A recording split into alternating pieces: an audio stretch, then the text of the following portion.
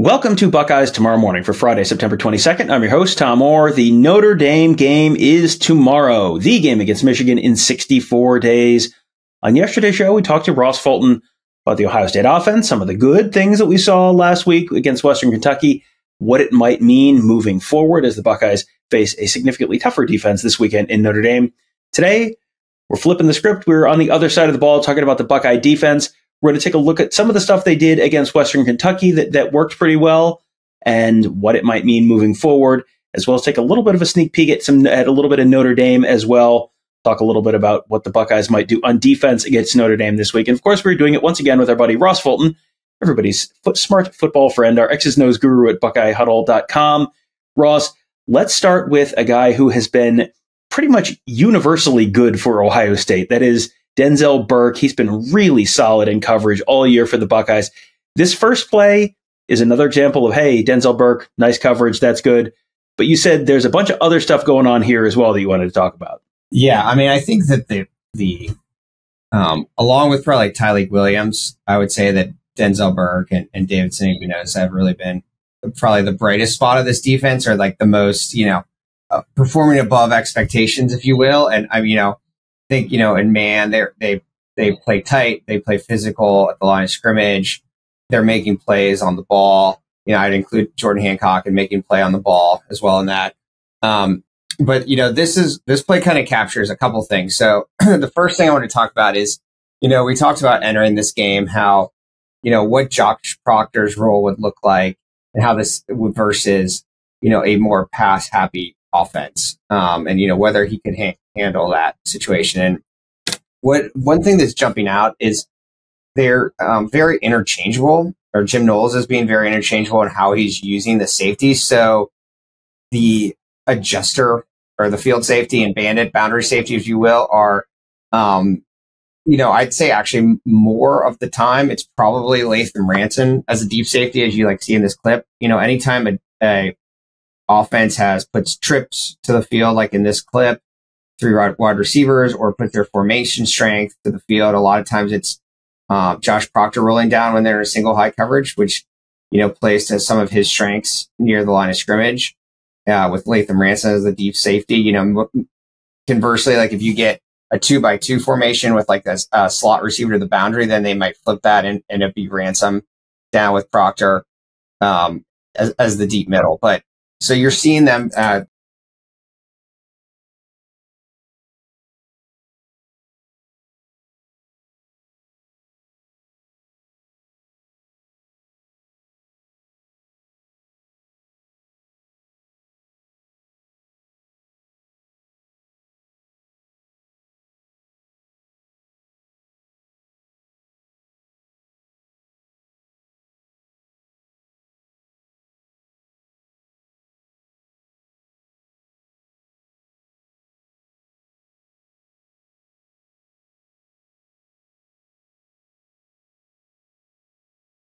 again, and, and a couple of clips are going to kind of hit on this here, but like the growth and expansion, if you will, of Ohio State's pass defense and pass concepts, um, which, uh, you know, as we've discussed, I think is is a pretty necessary step. Um, sometimes it fits and starts, they probably are still better in man coverage than they are in terms of matching some within some of these zones.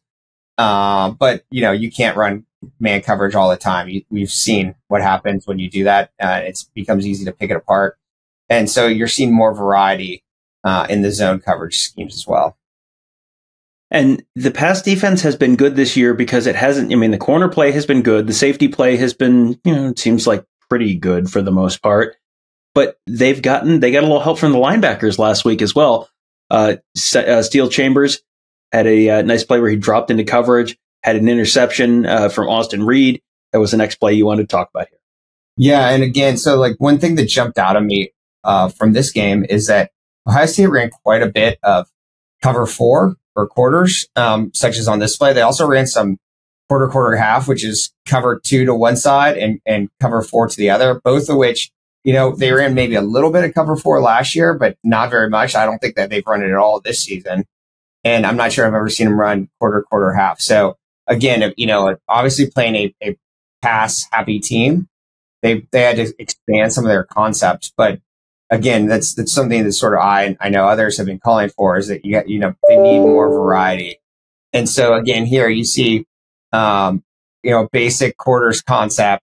Chambers passes off the wide receiver that goes vertical and is able to sit underneath that route and pick it off. Um, you know, you will notice in the play that uh, Jordan Hancock gets a little lost in terms of this the shallow crosser coming from the other side in terms of whose responsibility and like you know they're probably going to have some growing pains in terms of you know the more concepts you run obviously the less reps you have at them. And uh, you know we can talk a little bit more about like jordan hancock's role at nickel and, and how that continues to expand. And so you know he himself needs some reps. But i still think even if there's some you know some coverage bust in terms of implementing some of these schemes like being able to use cover four and, and some other of these split safety schemes that does it makes them less predictable by down and distance and less predictable by formation is a good thing. You know, the other thing you see them doing, um, you know, is, is they're disguising more. So like there's a couple plays during this game where like Proctor would line up sort of as an underneath defender, similar to the first clip we saw. And then at the snap, he would drop very quickly deep and Ransom would spin down into the hook curl zone. And so, you know, you see that kind of disguise. Like on the first series, um, where they stopped Western Kentucky on third third down, they ran a cover zero with two rats, and then on fourth down, they dropped into a Tampa two, and you saw, you know, Western Kentucky ran a mesh concept, which you know we've talked about that a lot uh, for the Ohio State offense, but that's a a play you run against man coverage. So obviously, like Western Kentucky was expecting to get man coverage again, and instead Ohio State fooled them with a zone and was able to, to make the stop. So again, that, that kind of goes to what we're talking about in terms of being able to, to change things up, change up the looks for the opposing quarterback. So you just don't know what's coming based on pre snap uh, alignment. All right. And so the next one, this is one where the defense gets down off the field on third down, but they, uh, they didn't do it probably the way they were necessarily expecting. This is one where the receiver went out of bounds. And so you had a loss of down penalty for uh, Western Kentucky, but you thought this was an interesting play, perhaps for some from different reasons other than just uh, the you know I don't I don't think the have them run out of bounds is going to be the part of the game plan that they're going to be able to carry forward uh, too reliably. So what else what else did you see on this one? Yeah, well, as you know, I've complained in the past uh, about the lack of uh, creepers or simulated pressures from Ohio State, and so when they run one, I have to give them credit. And again, I think this goes sort of part and parcel with what we were just talking about before in terms of ex- the, the continued expansion of the scheme beyond just being sort of having to run what they were running before, a lot of single high, cover one with some cover three mixed in. And so here you have, you know, first of all, they're overloading or, or showing pre snap that they're overloading uh, one side. And so Western Kentucky actually shifts their, uh, their slides their line to the right where they think they have, you know, four, uh, they have, you know, two defensive linemen and the two linebackers. And so they slide that way. And actually Ohio State drops off that side and brings uh, Styles and Igbinosun on a blitz to the field. And behind it, Ohio State runs what is in effect like a two deep with Denzel Burke as one of the deep safeties and a four under scheme. And so Proctor drops down. And so you've got, you know, Jack Sawyer and the two linebackers as the four under. So again, that's, that's kind of what I've been discussing in terms of where they need to move to, particularly on passing downs in terms of, you know, causing uncertainty for the offensive line in terms of who they're picking up, um, and you know, causing uh, hesitancy for the quarterback when you do this. Um, you know, we talked about the last week when there was a lot of concern about you know pressure from the defensive ends, and I, I think that was certainly better this week. You saw from you know Sawyer and JT Tuimoloau, like the, the, the pressure numbers were were much improved. But you're also going to make it easier on those guys and everyone else if you're not predictable where your four rushers are coming from all the time and that the offensive line knows where their landmarks are. And so you, again, you, are just going to help everyone out. You know, this again wasn't executed perfectly. Like, as you said, the, the reason this play didn't succeed is because Western Kentucky's receiver stepped out of bounds. You know, Jack Sawyer needs to get more depth or more, you know, width and get to the curl flat zone. Um, and so again, there's trade offs, right? In terms of execution, the more volume you have, uh, the more you're probably opening yourself up to having less reps uh, and some bumps along the way. But I still think to get where they want to go offensively, this is sort of the path they need to follow. Well, last week we talked about the fact that Western Kentucky was not going to run the same type of offense as Notre Dame, but at least it was going to be more passing than Ohio State had seen, so it would prep uh, prep the Buckeyes for uh, what they might see from Sam Hartman a little bit better than what they had gotten out of Youngstown State in Indiana before that. But one area where there was maybe a little bit of a closer parallel is, you know, Western Kentucky. They you you saw them run power a few times, and this is one of the this is one of the plays that where they did that. This next one, you thought this might be something you know useful to sort of in sort of forward looking way in terms of how, how, what Ohio State might have to do against the Irish this weekend. Yeah, I actually think Western Kentucky had some success with gap run schemes against Ohio State. And, you know, I mean, you, again, you kind of you can't defend it all. So you, you do have to play the pass. And so there are times where, like, you know, um, Tommy Eichenberg had to, like, on this play, he kind of triggers quicker. Sometimes he has to sit, though, because, like, when you watch this play, it has a backside RPO. And if, if, you know, the quarterback could have thrown it and, and pulled and thrown this pass because he triggered down early. But again, like, so, you know, you got, you're aligned to the field your passing strength. You got your run strength to the boundary. By pulling the lineman, you're adding a gap, right? And so Ohio State needs to match that. You know, the Steele Chambers um, has to be more physical, taking on the pulling guard. And you know, Tyleik Williams, again, we talked about him earlier. I mean, he he makes a lot of plays and made a play here, and that will be obviously key against Notre Dame. Um, because if your defensive tackles can control the run game action, it can clean up for a lot of faults and let you sit back on the pass more. But like Notre Dame, you know, will they do have a very diverse run. Like they'll use a lot of zone schemes, they'll use gap schemes. You know, you'll see different types of power, different types of counter trey. They run duo. Uh, they change gaps a lot. And so Ohio State's going to have to match that and be able to, to move with the gaps that Notre Dame's creating. And so again, I think there are times against Western Kentucky that they struggle with that, either because the linebacker didn't get over at the top to the other side. Um, you know, the defensive ends didn't pinch down hard enough or, um, you know, didn't take, or someone didn't take on a pulling guard, um, with enough force in the hole. So again, I think this is an issue to watch. I, I to me, Notre Dame's, um, you know, their spread offense you'll get plenty of 12 personnel, but they'll also, you know, go four detached or three detached plenty.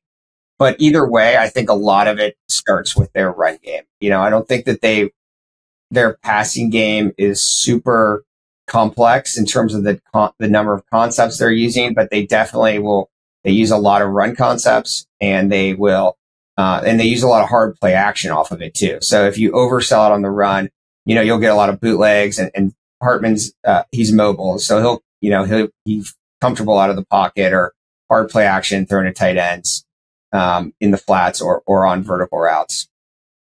Well, one thing you saw a couple times from Ohio State last weekend was the Buckeyes scoring on one play drives. Well, they're not the only team that's going to be playing in, in South Bend this weekend. They can do that. Uh, Notre Dame had one uh, that you wanted to talk about. That was a one play, 80 yard drive from the North Carolina State game a couple weeks ago. That was a long touchdown run by Audric Estime. Uh, Ohio State, obviously, uh, my professional advice would be they should not give up an 80 yard touchdown run if, all, if at all possible. So, what do you see here on this play, and what does Ohio State need to do to not have this happen to them?